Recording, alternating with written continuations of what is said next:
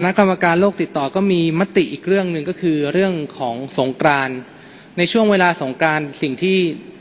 อันตรายก็คือการที่จะมีการรวมตัวของกันของคน โดยเฉพาะการที่จะเลี้ยงฉลองสังสรรค์ โดยเฉพาะการซื้อสุรา คณะกรรมการโรคติดต่อก็มีการพิจารณาเรื่องนี้ และประกอบกับสถานการณ์ตอนนี้เรายังสถานการณ์ดีขึ้นทุกๆวัน และเราไม่อยากให้เกิดเหตุการณ์ซูเปอร์สเปรเดอร์ในช่วงสงการ ซึ่งจะทำให้เราต้องไปนับหนึ่งใหม่หมด คณะกรรมการโรคติดต่อจึงได้มีการออกคำสั่ง จะมีคำการออกคำสั่งในวันนี้ให้มีการงดขายสุรานะครับ ก็คือให้ร้านค้าหรือสถานประกอบการขายสุราประเภทที่หนึ่งและสองที่ได้รับการอนุญาตให้จำหน่ายสุราตามพรบ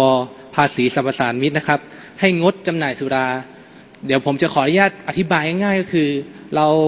มีการใช้คำว่าสุราประเภทที่หนึ่งกับประเภทที่สองซึ่งทำอาจจะทำให้หลายคนสงสัยว่าคืออะไรประเภทที่หนึ่งกับประเภทที่สองก็คือ เป็นการจำแนกว่าขายปลีกกับขายส่งนะครับ แต่ใจความสำคัญของประกาศนี้ก็คือ การให้งดจำหน่ายสุรา โดยไม่ให้มีการจำหน่ายสุราทุกๆร้านเลยนะครับ อันนี้คือขอให้ท่านเข้าใจได้ง่าย ๆ อย่างนี้ แล้วก็ช่วงเวลาที่เรางดก็คือตั้งแต่วันที่ 10 เมษาจนถึงวันที่ 20 เมษายนนะครับ ก็ต้องขอความร่วมมือให้ทุกๆท่านให้เข้าใจ แล้วก็ให้ความร่วมมือกับเรา เรามาได้ไกลแล้วครับ อีกนิดเดียวเราจะสามารถควบคุมสถานการณ์ได้อย่างดี ดังนั้นให้ความร่วมมือกับเรา แล้วก็ไม่ต้องให้พวกเราทุกคนต้องไปเริ่มต้นกันใหม่นะครับ